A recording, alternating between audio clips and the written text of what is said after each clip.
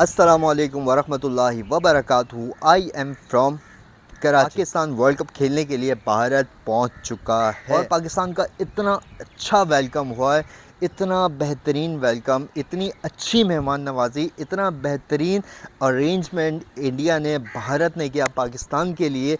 जब पाकिस्तान भारत के लिए रवाना तो कहा जा रहा था कि पाकिस्तान को भारत नहीं जाना चाहिए पाकिस्तान को हिंदुस्तान नहीं जाना चाहिए पाकिस्तान को इस वर्ल्ड कप से बैक ऑफ़ कर देना चाहिए क्योंकि पाकिस्तान भारत में नहीं खेलेगा। हाँ। अगर भारत एशिया कप के लिए पाकिस्तान नहीं आता। लेकिन भारत तो एशिया कप के लिए नहीं आया पाकिस्तान लेकिन पाकिस्तान भारत चला गया है वर्ल्ड कप खेलने के लिए क्योंकि पाकिस्तान ने वर्ल्ड कप में हिस्सा लेना और जब पाकिस्तान भारत पहुँचा है तो पाकिस्तान का इतना वार्म वेलकम भारत ने किया और जो हमें पिछहत्तर सालों से कहा जा रहा था दिखाया जा रहा था बताया जा रहा था कि ये दोनों ममालिक इन दोनों ममालिक में जो दूर अंदेशियाँ हैं लड़ाई फड्डे जंग चल रही है उसकी वजह से मैचेस ये सारी चीज़ें इस तरह के अरेंजमेंट नहीं हो सकती लेकिन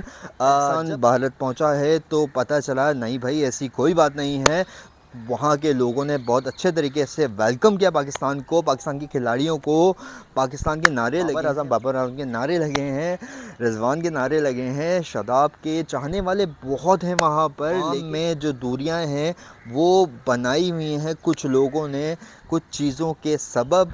तो जब पाकिस्तान भारत पहुँचा है तो पता चला है पाकिस्तान और भारत के लोगों में कितना प्यार है कितना है वहाँ के खाने के अरेंजमेंट वहाँ पे रिसीविंग के अरेंजमेंट वहाँ पर पाकिस्तानियों को जो जो रूम्स जो जिस तरह की उनको सिक्योरिटी दी गई है वो अनबिलीवेबल है।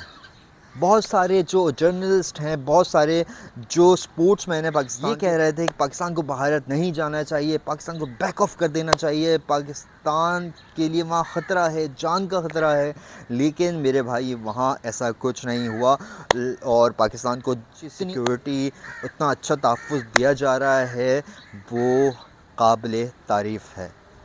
हमें हर उस अच्छी चीज़ की तारीफ़ करनी चाहिए जो पॉजिटिव चीज़ों की तरफ़ इशारा करती हो।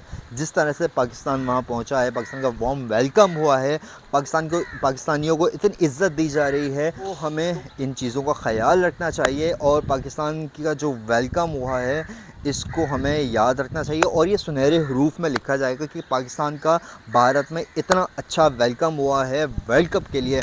और वर्ल्ड कप की जो तैयारियाँ थी पाकिस्तान की, वो भी अल्हम्दुलिल्लाह मुकम्मल ही होंगी। पाकिस्तान का पहला वार्म अप मैच जो न्यूजीलैंड के साथ था पाकिस्तान वो हार चुका है। 345 का जो पाकिस्तान ने टारगेट दिया था न्यूजीलैंड को न्यूजीलैंड ने वो ईज़िली कंप्लीट कर वार्म मैचेस चल रहे हैं। इन वर्ल्ड कप में वीडियोज़ भरपूर आएँगी और आपने वर्ल्ड कप के मैचेस को मिस नहीं करना। ये होने जा रहा है भारत में और भारत से जो पाकिस्तानियों की मोहब्बत है और पाकिस्तानियों की जो भारत से मोहब्बत है बात कर रहा हूँ। वो काबिल तारीफ़ है। बाकी दोनों ममालिक में जो दूर अंदेशा हैं वो ख़त्म हो जाएँ और मोहब्बत इसी तरह से कायम रहे। इन मिलते हैं आपसे नई वीडियो में। असलकम वरहमल वर्का